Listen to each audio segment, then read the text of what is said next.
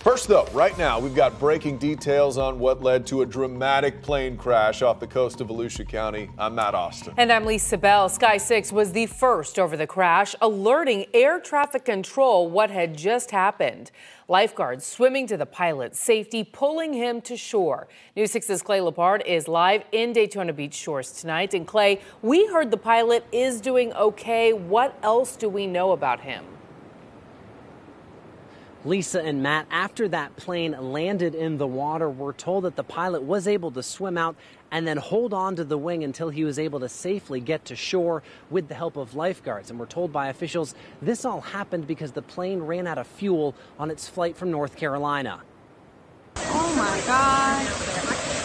I can't swim either. Claire and Susie Harton took this video seconds after a plane landed right in front of them in the water here along Daytona Beach shores. You couldn't move. I mean, you were very, very scared that there was somebody else in there because the nose kept staying down. Beachgoers watched as lifeguards swarmed the plane. You just absolutely never know what can happen at any time. You know, like I said, I was worried about sharks and never thought a plane could come down, you know, right here in front of us and Sky 6 captured the moments as the pilot, Richard Gooseman, was rescued by lifeguards and taken to shore. You saw it going down, and I was like, I said to my wife, I said, I think that plane's going to land in the ocean. And she was like, what? Volusia County Beach Safety say Gooseman, along with a beachgoer who swam to help, were taken to the hospital. Both are expected to be okay. No, I don't see that uh, on every day in Canada.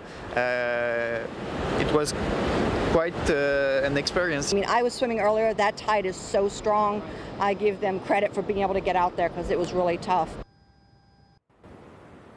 Crews are expected out here sometime tomorrow morning to tow away this plane. In Volusia County, Clay Lepard, News 6. Clay, Clay. thank you.